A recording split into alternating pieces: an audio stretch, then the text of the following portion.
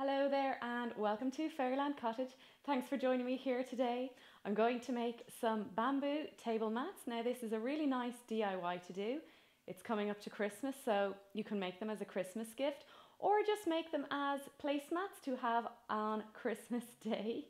Whatever way you use it, it's going to be really pretty and it's really nice to use some bamboo. My neighbour had loads left over so they were going spare I will tell you exactly what you need for this. So let's get right into the video.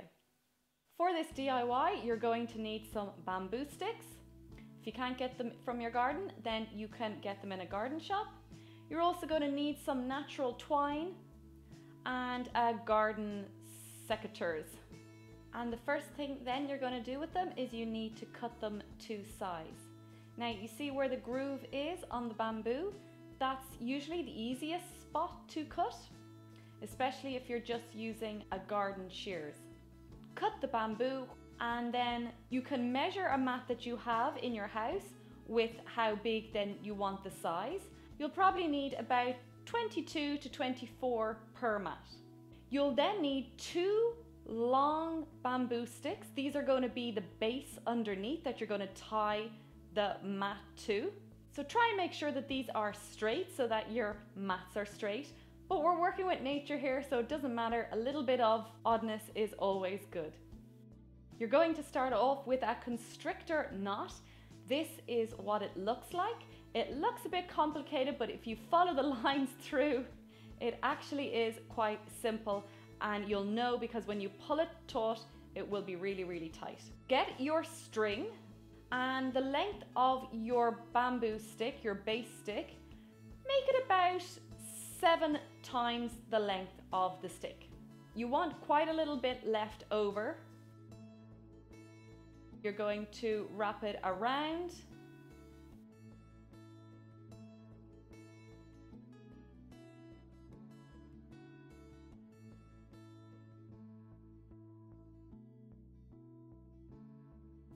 and then through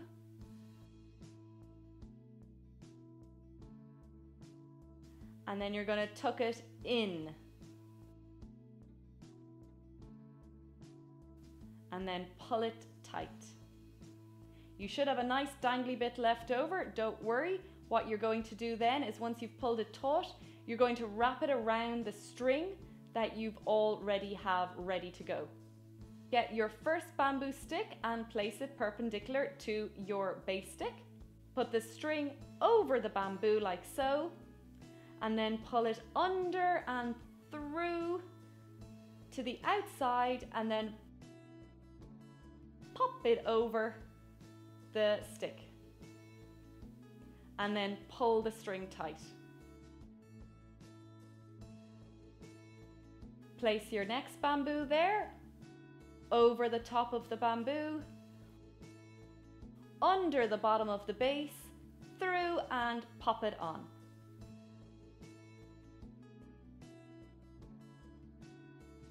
Keep going like so all the way along. Make sure that you pull the string really, really tight and make sure that each little thing is pulled in close to one another. The strings need to be really, really close and tight.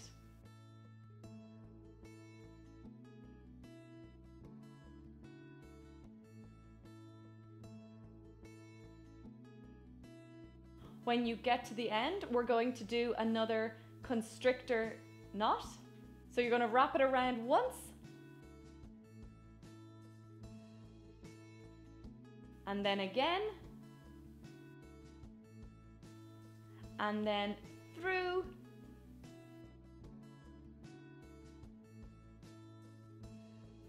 And then through the front one. And then pull it really super tight. You can do another knot here if you like. On we go to the next side. It's the same, it's just a little bit trickier because you've got the bamboo quite tight close together. So do your constrictor knot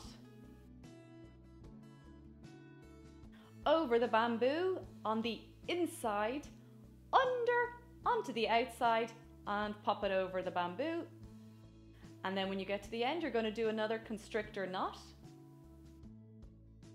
You can do another knot here if you like. If you've got enough string left, you can tie it together on the inside.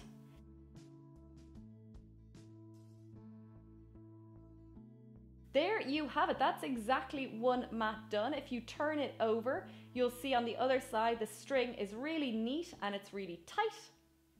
There you have it, some bamboo placemats. It's so nice to have something that you made from nature. The main thing I found with the mats is you need to make sure that the string is super, super tight. That really is the main thing. If not, it's going to get loose and wibbly and you don't want that. So really pull the string taut throughout the whole mat. So that is it for this week. Thank you for watching and I really hope you enjoyed the video. If you did, thumbs up and let me know down below if you make it or if there's any other DIY gifts that you want me to make or that you make yourself. I'm always open and love to hear other ideas. And until next week, thanks for watching and I'll see you then. Bye.